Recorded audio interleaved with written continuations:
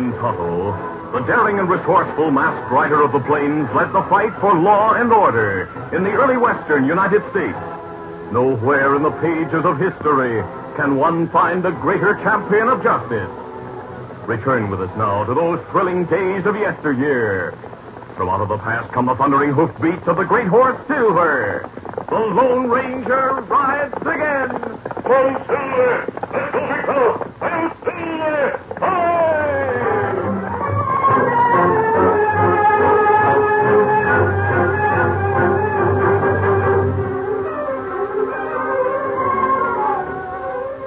The Ranger and his 14-year-old nephew, Dan Reed, stood beside the Furnace River. Several miles below them, the Modoc Irrigation Dam, a new project, was in operation, backing up the flood-swollen river until it formed a long lake. The masked man had drawn one of his six guns. He was saying, Dan, it's time you learned something about marksmanship. Are you really going to let me shoot that gun? Yes. But first, I want to fix it in your mind that no gun is a plaything. It's a deadly weapon, which must always be handled with care. I know how careful you are, sir. Now, never draw a gun unless you're prepared to use it. Never point it at anything you wouldn't want to shoot. Never shoot unless you have no other choice. Now, take the gun. Gee, gosh, but it's heavy. What shall I shoot at? There are a lot of logs in the river. So many, in fact, that I wonder where they come from. Fire at that one out there. I'll have to use both hands to cock it. One of the arms companies is now putting out a self-cocking gun. It's called a double action 38. Pull on the trigger, throws back the hammer, and trips it. There, I- I've got it cocked. Are you ready? Already. Here goes. Oh, I, I shot way over Well, it. the barrel kicked up. I'm going to shoot again. That was better, but you still missed it by a yard. Don't make your trigger finger do all the work. Use your whole hand and squeeze both butt and trigger. I'll try again. I hit it! I hit it! I saw the bark fly. That was good, Dan. You're learning fast. The time will come when you'll feel that a gun is part of your hand. The log's gone now, but there comes a small chunk. It's only a few feet out. I'll try for it. Oh, wait, don't shoot, Dan. Put that hammer down gently. Now it's down. What's wrong, sir? That's not a piece of wood. It's a canteen. I'll wait in after it. Can you reach it? Yes, I've got it. It's almost new. Where do you suppose it floated from? I have no idea, but there's something inside. Here, listen. Maybe there's some gold nuggets in it. I'll let your imagination run away with you, Dan. There, I've got the cap off. Now I'll pour out whatever's inside. What are those things? Just pebbles like we're standing on. I wonder. Yes, there's something else in it. A rolled paper. Somebody wanted this canteen found and opened. The pebbles were intended to arouse the finder's curiosity. I'll bet that paper is a message. We'll know in a moment. The paper is wet and I don't want to damage it. Uh, there's some writing on it. It's smudged, but I'll try to read it. If this letter is ever found, it is the wish of a dying man that it be delivered to Mrs. Ellen Norwood in Modoc City. My dear wife and darling daughter. Are you going to read the rest? I don't like to, but the writing may disappear or the paper fall apart. We should know the contents. That's what I think, sir. And the letter goes on. Jim Stark and I were ambushed the 27th of May on the Furnace River near Squaw Creek. Jim was killed. I was shot in the back and left for dead. When I came to, I was paralyzed from the waist down. The horses are gone. I can't live much longer. Tell the sheriff that Tell him what? that's the end of the letter. Either the writer couldn't go on, or the writing has faded out. Do You suppose there's a chance of finding the man alive? He must be presumed dead. The 27th was three weeks ago. No badly wounded man could live that long without food, shelter, or medical attention. Come on back to camp. I see Tonto waiting for us. We're up, ready. I haven't time to eat now, Tonto. Here, Silver. Where you go, Kim Sabi? To Modoc City to deliver a letter. Dan will explain. Steady, Silver. Come on, Silver.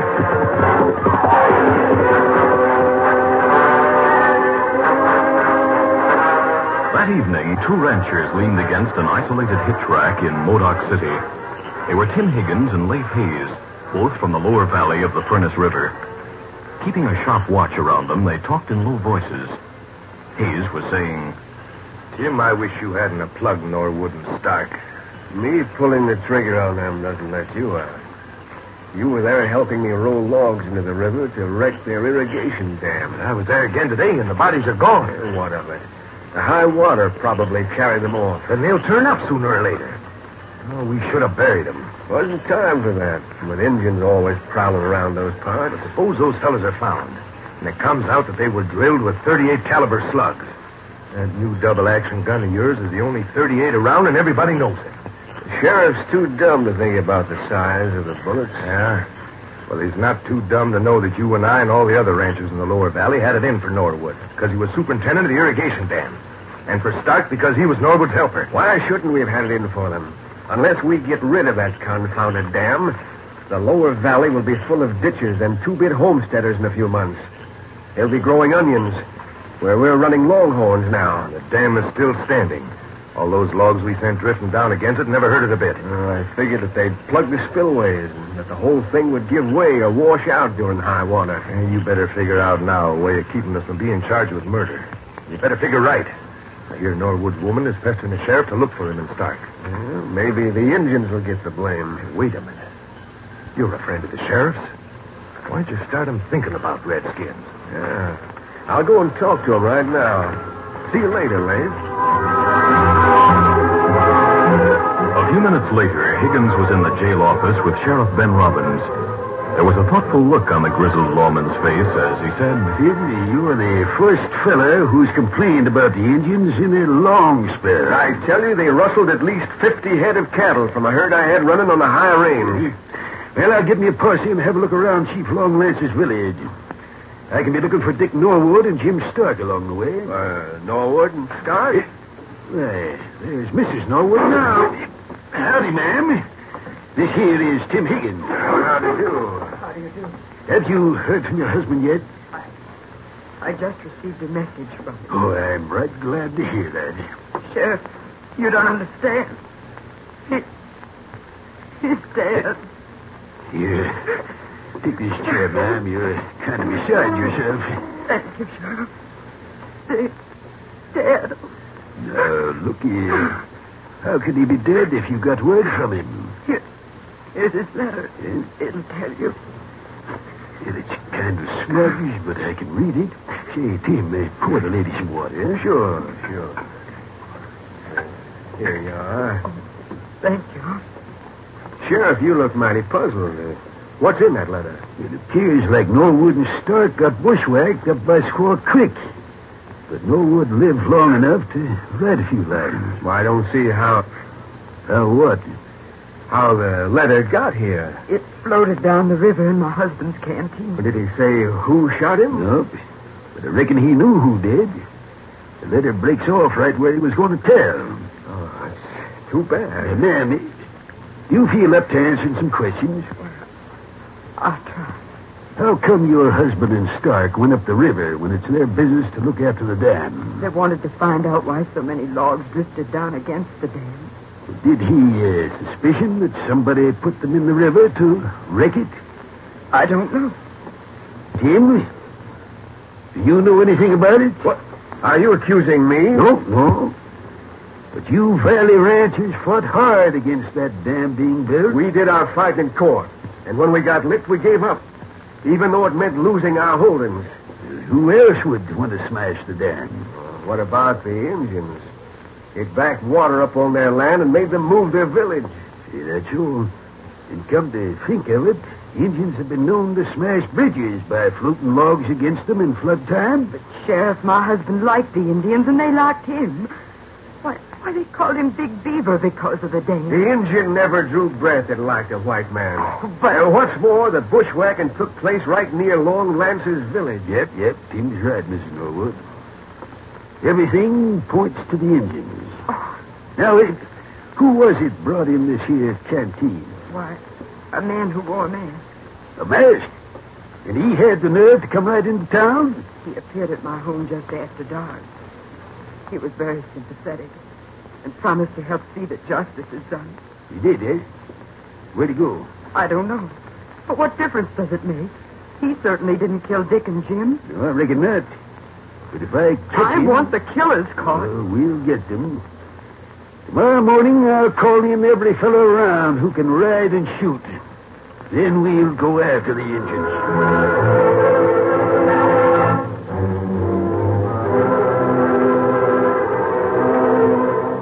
Meanwhile, the Lone Ranger had stood outside the window of the jail office listening to all that was said. As Mrs. Norwood left, he hurried to a nearby alley where he had left Silver, mounted and rode hard to camp.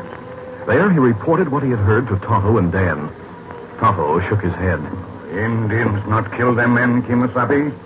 Norwood never lived to write letter. If Indians shoot him, Mrs. Norwood said he was friendly with Long Lance and his people. look like Higgins fella trying to cover up for cattlemen. He'll bear watching, but we have no time for that now. Long Lance and his whole tribe are in danger. Why you say that? Well, the sheriff is a good man, but he won't be able to control the kind of mob he plans to lead against the Indians. We don't want American civilization disgraced by another Sand Creek massacre. Ah. And what we do? We'll go to Long Lance's village and have a talk with him. On the way, we'll look for the scene of the shooting. May I go with you? No, Dan. I want you to go to Modoc City and stay at the hotel. Yes, sir. Hunter will call for you later. Well, be, be ready, Kimasabi. Easy, steady, big fella. Adios, Dan. Adios. Move through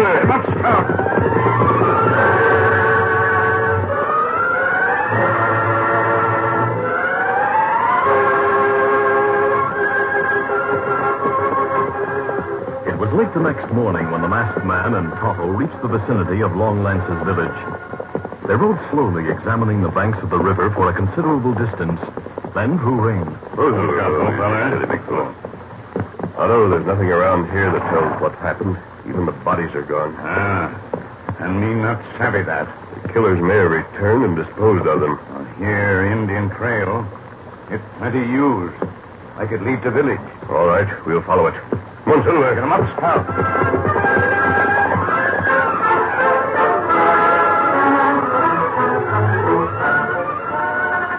The curtain falls on the first act of our Lone Ranger adventure. Before the next exciting scenes, please permit us to pause for just a few moments.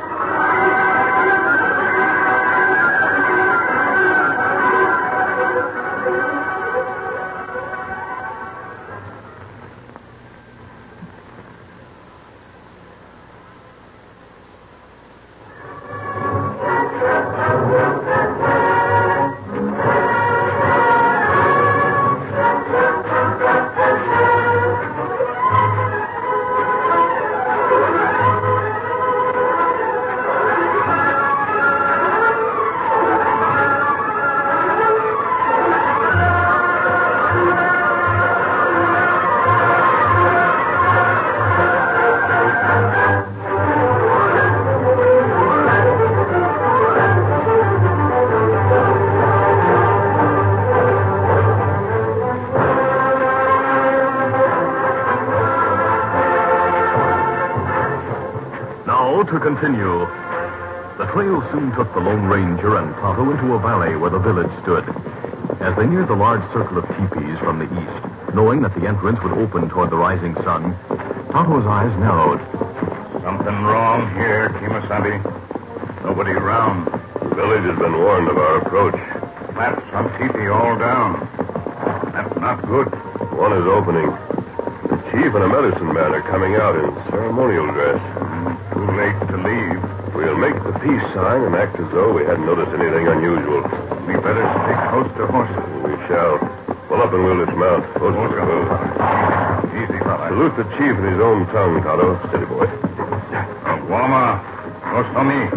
Uh, Now, me tell him we friends. Him offer double handshake with crossed arms. Me not like that. The highest Indian honor. It would be dangerous to refuse it. Give the medicine man your hand, and I'll give mine to the chief.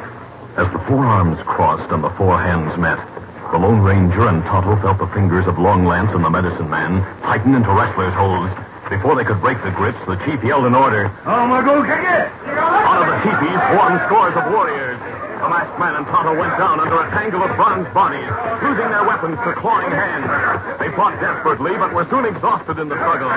Panting from the unequal fight, the Lone Ranger and Tonto were pulled to their feet and firmly held, while Long Lance spoke. Ibuno. Mono Kila. You know what he said, Tonto? Ah, him tell men, take your mask off. There's not much I can do about it. Kilaju. Kimosela. Indians who were reaching for the mask were halted by a sudden cry from the nearest teepee. The Lone Ranger and Tonto turned in that direction and saw a white man approaching with uneven steps. He was haggard and unshaven. He wore only a breechcloth and a poultice of leaves was attached to his back. I'm here. One Indian ran to meet him, threw his blanket over the white man's shoulders, and steadied his steps. Look, Kimasabi. That man. He's white. Hey. My name's Teade. What are you? Show me. Mura Kego.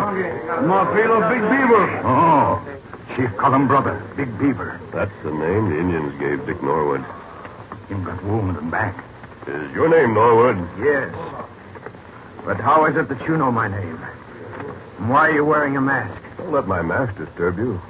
I know your name because I found your letter in the canteen. You did. Yes, we came here hoping to learn something of your fate.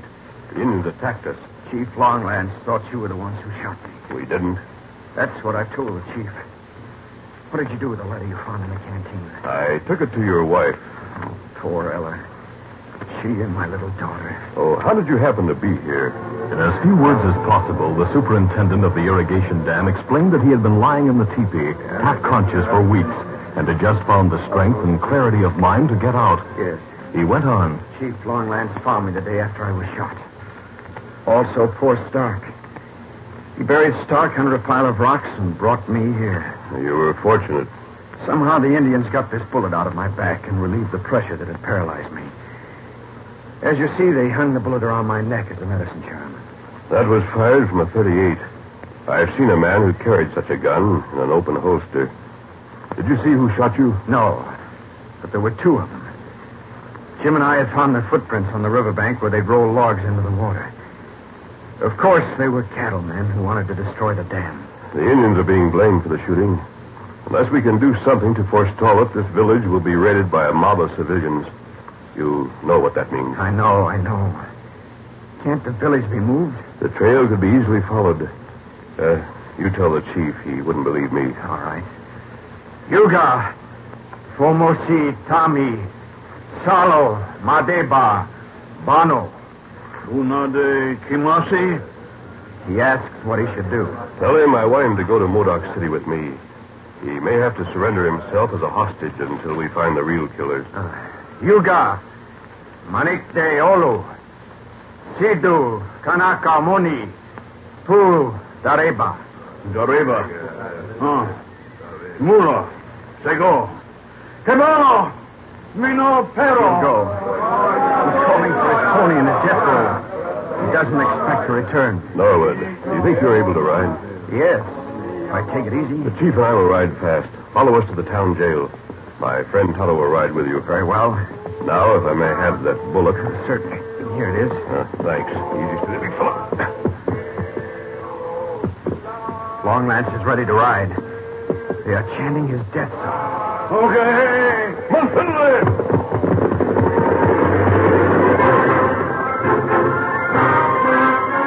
As the Lone Ranger and Chief Long Lance, all differences of creed and color forgotten in the comradeship of the brave, raced out of the village, Modoc City swarmed with armed and excited men. In the jail office, where Higgins and Hayes shared the company of some of the more level-headed citizens, the worried sheriff paced the floor. He was saying, Higgins, you talked me into this thing. How can I call it off? You can, Sheriff. I wouldn't want to turn that local crowd loose on even a pack of wolves. Listen to him. You've got to let them shoot up the Indians or they'll shoot up the town. Maybe that would be better. Several hours later, the jail began to fill with refugees from the gun-crazy mob. Mrs. Norwood was there with her baby, as were several other mothers. Shivering half-breeds and Mexicans sought safety in the cells. From the street came yells for the sheriff. Come on, Sheriff, let's go. What are we waiting for? The old lawman chewed the ends of his horseshoe mustache and groaned. what am I going to do, Higgins? Just what you plan to do. And you better do it mighty quick. Now what? I'm Dan Reed, Sheriff. Some of your volunteers are gathering around the hotel. They say they're going to march on the Indians without you. I can't help it, son. All I can do is protect the folks in here. You'd better stay. I think I'll mosey up to the hotel myself. Come on, Leif. Oh, just a second. Yeah, it seems like the mob has quieted down sudden like. Look out the window. Hey, by the stars of Texas, it's a masked man. And he's got an Indian chief. That's Long Lance himself. The masked man is covering the hooligans with two six guns. They're giving him a wide path. He's bringing the chief here. Maybe that'll hold the mob a while, eh? Or maybe he'll get lynched. Sheriff, the chief is here as a hostage for the protection of his people. I'm protecting him. Who might you be? Well, that's not important. Well, whoever you are, you sure did me a favor by bringing him in. Not as I can see how you knew about the fix I'm in or how you got him to come. You brought the trouble on yourself. Yes, maybe so. But I figure that the chief knows who the killers are, and I aim to make him tell. He doesn't understand English. Ralph got over his side. Everybody's closing in on the jail. It's not Indians. We want him now. Throw him over. We're coming in. Hey, that bullet went through a window. You've got to let them have the redskin. They'll kill us all if you don't. I'll talk to them. here comes that masked man. Keep your hands frozen and listen to me. There are women and children in the jail. You can't use them to shield that redskin from us. We're coming in. Then you'll do it over my body and empty guns. Stand back or I'll fire. Rush him, fellas. He can't shoot all of us. Quit pushing back here. I don't want to be first. Hand over the chief or we'll wipe out his village. Men, the killers aren't Indians. They are men you all know and would be willing to give a fair trial. Chief Long Lance is a witness against them. Another witness is on the way here. Sir? Within an hour or so, I promise you the surprise of your lives. Just wait. Maybe there's something in what he says. Let's wait and see. All right, masked man. We'll give you an hour to deliver your surprise or the redskin. One hour, boys. Give one hour. Hey, uh, just what did you mean by saying everybody knew the killers? Just that. Well, I'm getting out of here before the mob gets hostile again. Come on, Leif. Stay where you are. Sheriff, who's running this jail, you or him? Well, it appears like he's doing a pretty good job. You'll hear about this next election day.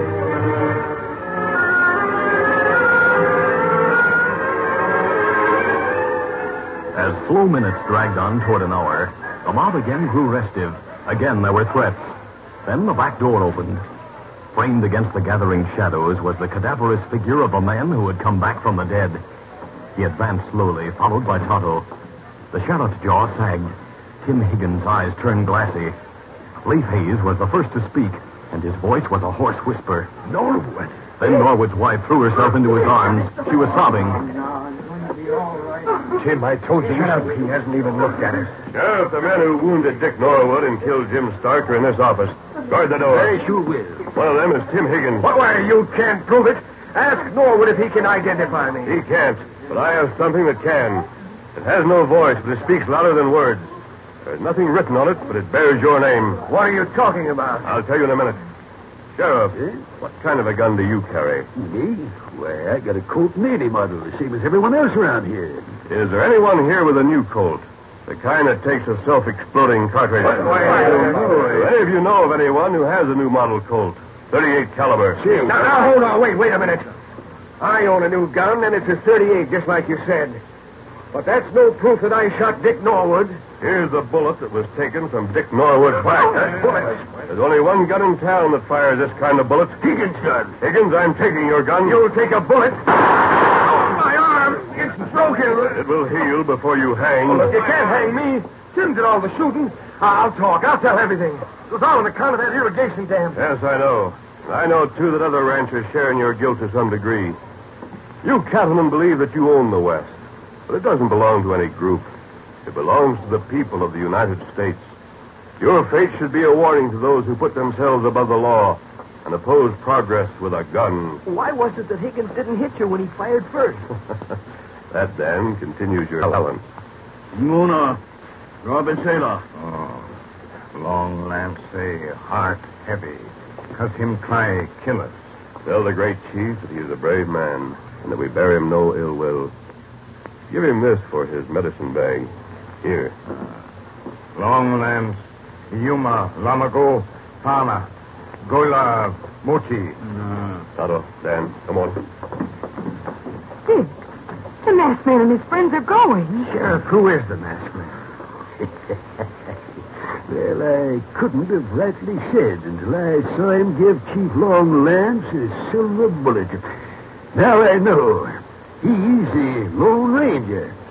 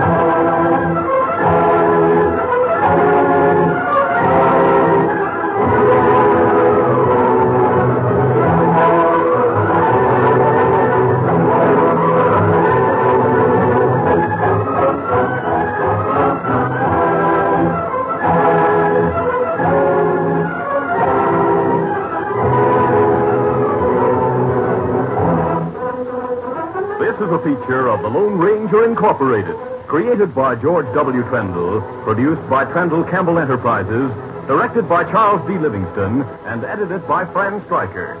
The part of the Lone Ranger